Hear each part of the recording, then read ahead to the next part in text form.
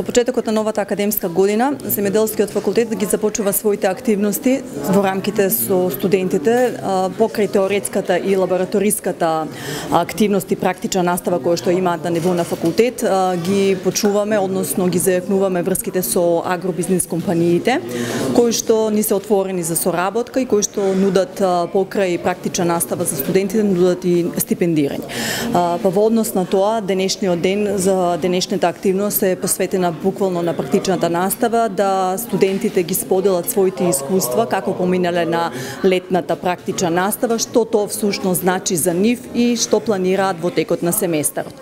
Имајќи во предвид дека теоретската настава се одвива неколку денови во неделата, придружена со лабораториска пракса, студентите имаат можност да посетуваат и практични денови во компаниите, со цел да го научат полесно процесот на работа во соодветната компанија и да се полесно одлучат после завршувањето на нивните студии каде ќе го продолжат своето вработување. Ова е една олеснителна алатка, една убава можност за сите наши студенти за после завршувањето или после нивото дипломирање да може веднаш да се вработат. Тоа ни е целта и тоа ни е планот да ги зајакнеме врските со агробизнес компаниите. Денес имаме една агробизнес компанија која што ќе ни се представи, Лион од Доелот Свети Николе, а додека пак на, на еве веќе едно наговестување за наредниот месец, месец ноември, кога ќе имаме денови на млади истражувачи, кога планираме значи повеќе фирми или компании да се представат пред нашите нови студенти. Ова е пред се можност, убава можност за студентите, нашите нови студенти, бруцушите да го осознаат процесот на студирање и како одат активностите на ниво на факултет. Секој месец ќе имаме активности во кои што нашите студенти ќе бидат главните чинители или главните актери во целите приказни. Ние во изминатите можам да кажам еве две години, полни две години напорно работиме со зајакнување на врската помеѓу земеделскиот факултет, високото образование и помеѓу агробизнес секторот и се разбира во кој што главната алка се нашите студенти. Буквално компаниите се задоволни. И како резултат на тоа задоволство го иницииравме денешниот ден за да може студентите преку своето искуство практично да им презентираат и да ги мотивираат новите генерации на студенти зошто да ги посетуваат тие практични денови, зошто да ја одат таа летна практична настава, затоа што тоа оди се во нивна корис.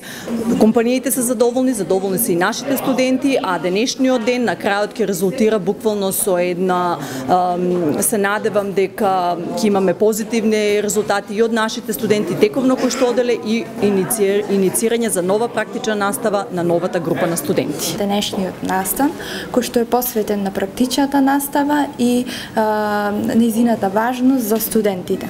Практичната работа представува клучен мост помеѓу нашето теорија теоретско образование и реалните работни предизвици. Таа ни овозможува да ги примениме стекнатите знаења и вештини во конкретни компании да ја почувствуваме магијата како е да се работи, а истовремено да се надоградуваме на лично и професионално поле, искачувајќи се полека, но сигурно по скалите на успехот.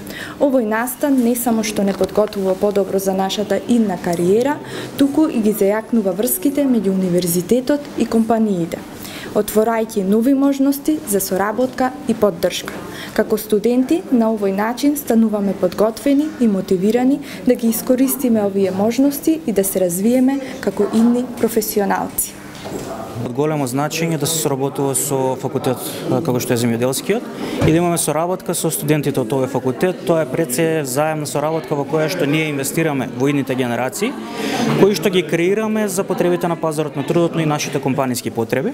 А, идејата е теоретското знаење да го напредиме со а, практичната настава и преку тоа ние да изградиме кадри кои што кога би се вработувале, а, би биле колку толку спремни и би можеле што е можно полесно да се вклопат во нашата компанија или во било која друга компанија каде што би работел. Бенефитот за компанијата е квалитетен кадар. А, сите компании сакаат да имаат што е можно поквалитетни кадри, а тоа предонесува и за успехот на компанијата генерално. Се додека ние инвестираме и враќаме на, на заедницата, на студентите на факултетите, ние како компанија ќе бидеме обезбедени како за во сегашноста, така и за виднина. Конкретно студентите од овој факултет ќе може да работат во одделот за контролата на квалитет и хигиена, а тоа значи дека тие ќе работат во целокупното следење на а, хигиенското работење, запазување на стандардите како ISO, насап, Hao и слично. И едноставно ќе бидат задолжени а, самиот, самиот производ кој што ќе испадне од нашата компанија да биде на највисокото можно ниво.